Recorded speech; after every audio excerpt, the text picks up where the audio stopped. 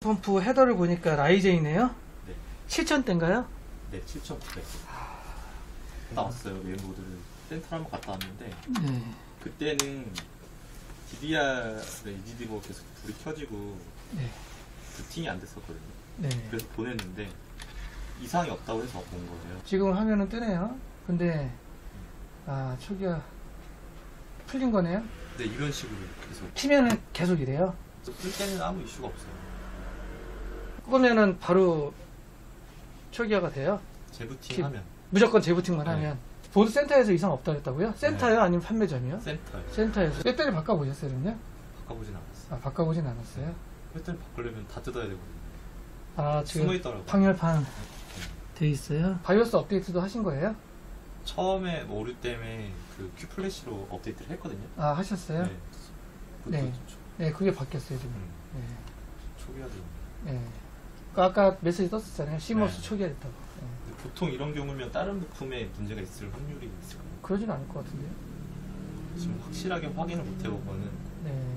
SSD랑 파워 CPU 3개거든요. 뭐 메모리 오버하신 것도 없죠. 전혀 손 안 댔어요. 네. 이렇게 재시작하면 풀려야겠네요. 네, 보통은. 지금은 넘어가는 것 같네요. 아예 파워를 죽이고 해야 되나요? 아, 한번 꺼볼까요? 거- 네, 재부팅은 거의 안 해봤고 아, 껐다 켜보셨어요? 네, 보통은 껐다 켰을 때 저는 안 빼봐도 돼요? 네, 그냥 예. 그냥 지금 켜봐도 네, 돼요? 그- 지금은 넘어가네요? 증상이 계속 재현이 돼야 되는데 그래야 뭐 파워를 바꿔보든 해서 음. 어 되는구나 라고 할 텐데 이게 코드를 빼볼게요 그냥 조금 있다가 다시 꽂고요 이제서야 이제 워밍업 되네. 느리긴 하구나. 네. 풀리네요. 음, 바이오스가 풀려. 이거는 얘들만의 이슈 같은데. 이거 조금만 테스트하면 센터에서 알았을 텐데. 보드 문제지. 보드가 맞을 것 같아요. 예, 저도 컴퓨터 조립을 그래도 예, 예. 많이는 안 해봤어도 오랜 기간을 했었거든요. 네네. 제거 정도 한 정도로. 근데 한 번도 이런 적이 없었는데 이러니까 너무 스트레스 받아가지고 메모리하고 파워하고 저희 메모리는 제가 바꿔봤어요. 아, 바꿔보셨어요? 어, 근데 제가 봤을 때는 하든 안 하든 보드 같습니다. 근데 뭐 파워는 아닐 겁니다. SSD일 확률도 없겠죠. 네, SSD 확률 없을 것 같은데요. 일단 파워 걸면서 SSD 빼죠. 어차피 바이오스가 풀리냐 안 풀리냐가 문제지 부팅이 되고 안 되고는 문제가 아니니까 네, SSD 빼도 돼요. 또 풀리네요. 그죠? 이거는 제가 봤을 때 전형적인 보드예요. 메모리 바꿔보셨다고 했고 혹시 모르니까 파워 마지막으로 한번 바꿔보고요. 그러고 안 되면 음, 센터 가셔야 될 것 같고 요 화면 사진 안 찍으셔도 되겠어요? 혹시 모르니까 찍어 놓으셔서 이런 식으로 풀린다 라고 해서 보여주세요.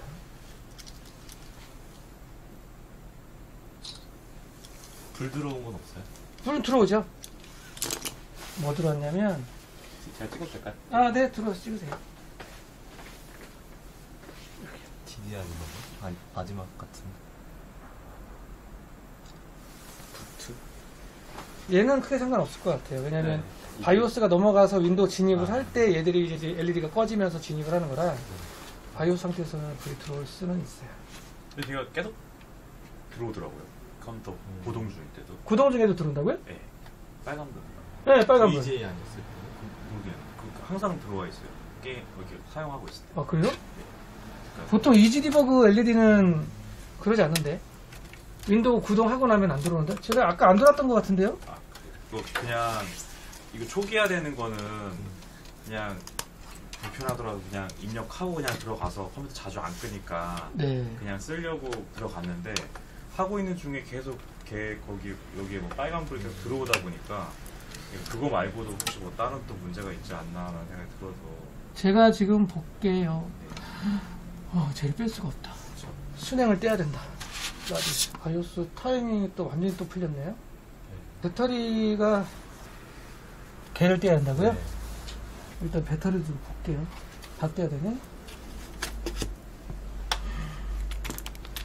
일이 많네. 이게 해결이 안 될 거 알면서도 이렇게 해야 돼요. 테스트라는 게 해결되면 참 좋은데. 그냥 Q-Flash 그냥 안 먹었잖아. 업데이트. 네네. 그것도 이상이 있는 거죠? 그렇죠. 그것도 뭐 정상적인 모습은 아니죠. 얘를 빼야 되는데 이게 뒤에서 빼야 돼요. 얘. 네? 보드를 풀어야 돼요. 뒷면에 있어요. 난방. 보드를 빼야 한다고. 네, 보드를 빼야 돼요. 아 이렇게 만들어놨냐. 그래도 혹시나 한번 해보자고 빼는 건데 이거 미리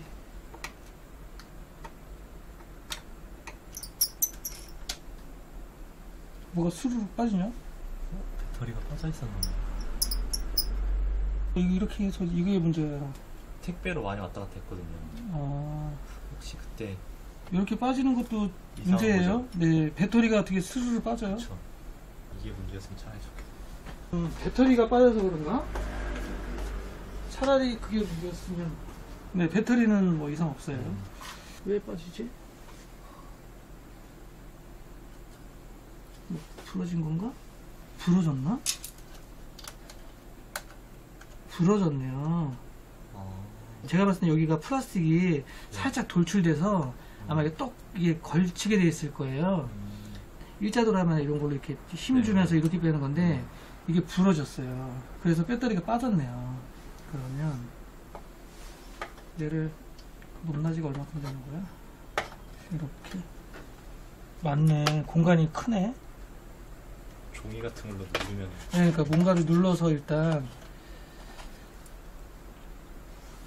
그리고 센터 들어가면 소비자 과실로 몰겠는데 왠지 얘가 얘 때문에 그런 것 같네요. 그럴 확률이 높을 것 같은데요. 차라리 네. 그랬으면 시원하게 답이라도 해결이 되니까 저- 뭐 누가 잘못했든 간에 할 텐데 아 그럼 얘가 빠지면은 그렇게 있을 때는 배터리 네. 빠지면 리셋이 되죠. 아,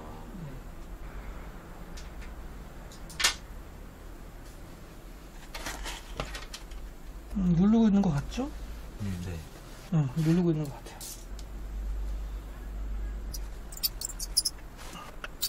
이렇게 약하게 맞는 것도 문제예요. 사용자가 얼마나 뭐 배터리 심하게 뺀다고 뺄때 그게 부러졌었나 보네요. 그런 것 같아요. 이렇게 해서 해결을 잘 됐으면 좋겠네, 진짜. 잘 될 것 같아요. 그죠? 네. 네, 배터리가 빠졌다는 거는 일단 글루건으로 딱 눌러놨으니까 해결되면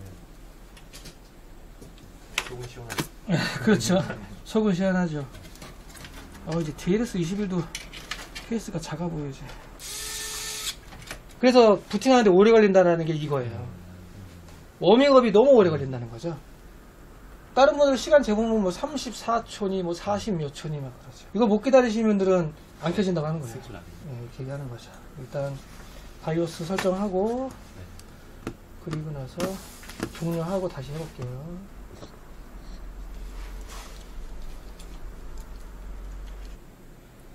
자 이제 꺼보도록 하겠습니다. 그리고 이렇게 괜히 안 되네. 코드 뺄 거예요. 이제 코드도 빼요. 그리고 한 1분 있다가 켜볼게요.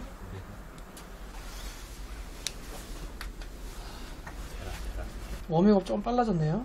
그러네요. 에러 안 나죠? 에러 안 나잖아요. 어. 그죠? 오. 에러 안 나죠? 바로 넘어가죠. 된다. 그죠. 어, 여기서 박수 치신 분 몇 분 돼요? 아니에요. 그러니까 고로 생각지 않은 메인보드 배터리 접촉 불량이 될것 같아요. 아마 그것 때문에 수동으로 바이오스 업데이트도 안 됐던 것 같아요. 아, 그러지 않았을까. 아, Q-Flash 하는 거는 전원 공급된 상태에서 강제로 하는 거기 때문에 그러지 않았을까 하는 생각이 드네요. 예, 다시 한번 껐다가 다시 켜보고요. 요렇게 쓰시면 되죠. 예. 정 찜찜하면 뭐 보드 센터 들고 가서 그냥 네 근데 기사들이 또.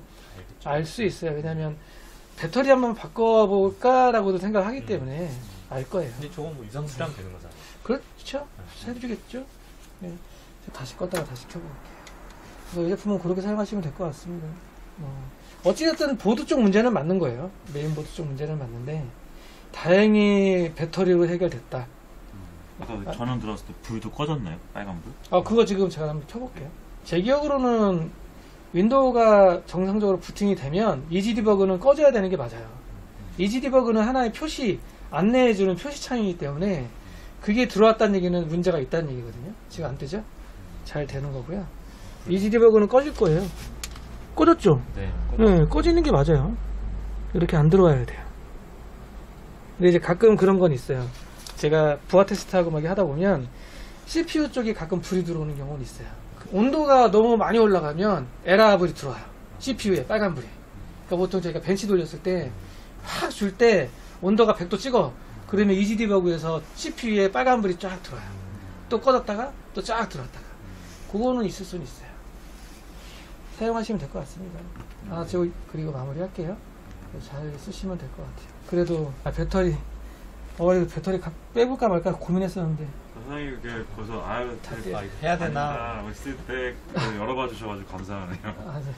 일이 그러니까- 커질 뻔했는데 더. 아 그러니까 하긴 해, 하고는 싶은데 이걸 다 드러내야 되니까 네. 왜 이렇게 만드는 거예요? 그냥 쉽게 나 하지 보통 나와 있잖아요. 예전 보드들은요. 왜 그렇게 했는지는 모르겠어요. 잘안 가니까. 근데 배터리 생각보다 교체할 일이 잦은데. 저도 한 10년 쓴 컴퓨터 있었는데 네. 없어지긴 하더라고 요. 네. 근데 바꾸긴 해야 돼요. 되게 센터 오라는 건가? 배터리 바꾸려면 아까의 쿠키 영상으로 라이젠 7900 50도밖에 안 돼요. 네, 온도가 되게 낮은 거예요. 진짜 일반 공랭으로도 팔라딘 400으로도 되겠네요. 이런 느낌이라면. 근데 가급적이면 듀얼 쓰시면 좋고 댁에서 사용한다 그러면 60도에서 65도 온도 면에서는 좋네요 진짜 어, 많이 돌려도 네 많이 돌려도 된다는 얘기예요